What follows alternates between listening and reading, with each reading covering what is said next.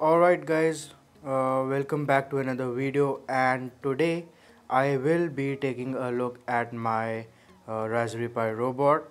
Now this is the third revision and if you want to see the previous version of this robot uh, please do check uh, please check out the uh, older video that I did.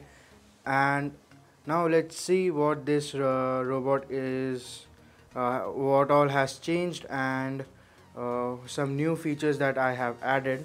So first off of course I have changed my controller from a joystick to full on gamepad.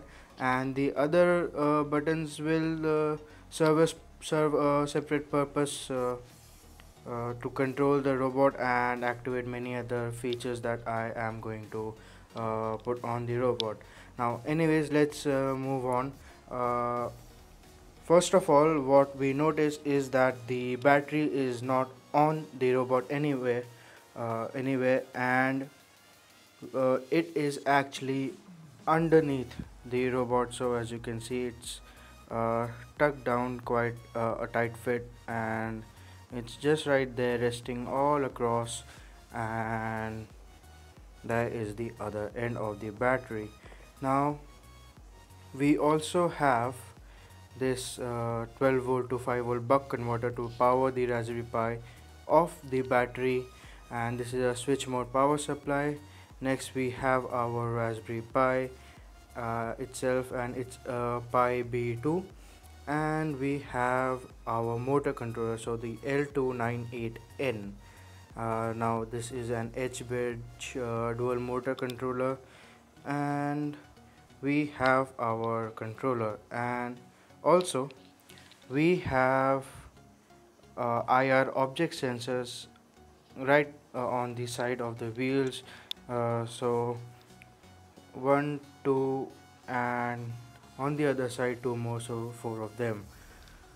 Alright so let's see what this uh, robot can actually do and what new feature I have add added. Also what the IR sensors are for alright so as you guys can see the basic move movement of the robot for now is forward it goes backward it turns uh, 360 degree left and right and as well as uh, it has semi turns so uh, which are not completely 360 degree it goes uh, a little bit forward and turns uh, so there you go semi turns and the new feature I have added and what the infrared LEDs are for is this. It doesn't fall off. And that's the main feature. So the what the uh, IR LEDs are they detect whether there is a ground for the robot to run on. And then if there is not it stops the robot. So again I take it I move it forward and it stops. Uh, and if you guys want to see it with the controller and you know uh, so it goes forward and it's still it won't move anywhere it won't go left or right. Only thing it can do is move backwards. So yes it makes sure it does not fall off. Again with the controller it moves forward and goes back. And that's about it for now uh, I have to add uh, a lo loads of features on this. I have a, a lot of things planned. Uh, uh, one of the things are I am going to use six in, uh, ultrasonic sensors uh, on the robot for um, object detection and distance detection. Uh, uh, and there is going to be the official Raspberry Pi camera. uh, streaming stuff uh, Wi-Fi and uh, a couple more things.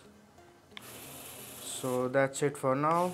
All this robot does is moves forward backward turns around and of course make sure it doesn't fall off. Uh, thanks for watching and I will see you next time